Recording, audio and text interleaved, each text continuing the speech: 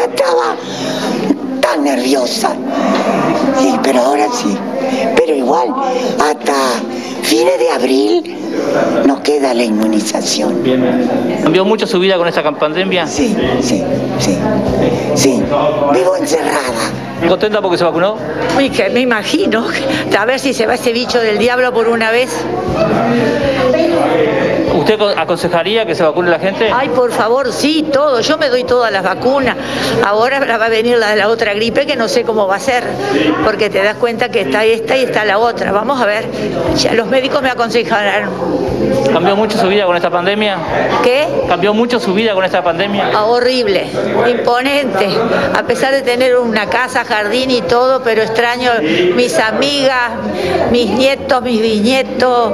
Eh, ya no me van a dar se a, la falda mía a abrazarme y ya ahora no lo hacen. Y eso tengo miedo que se, que se forme una costumbre y que no se acerquen más a mí. Sí, estaba esperando, viste, que llegara a los 80. A las 3 de la mañana me pude inscribir. ¿Tuvo mucho problema para, para agendarse? No, viste, yo empecé, me puse el despertador a las 3, viste, porque llegué que saber, anda poca gente. Y entonces mi hija me inscribió. ¿Usted aconseja que la gente se, se, vacune? Sí, tenemos que vacunarnos todos, no se puede dejar sin vacunar. Ya está la primera dosis, ahora cuidarnos para recibir la segunda y después cuidarnos para estar inmunizado y entonces sí poder empezar a hacer, pensemos, la vida algo más normal, porque actualmente, por, en mi caso, yo no salgo a ningún lado. ¿Usted aconseja vacunarse?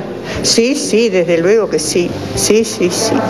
Cuanto antes nos vacunemos, antes vamos a terminar con esto.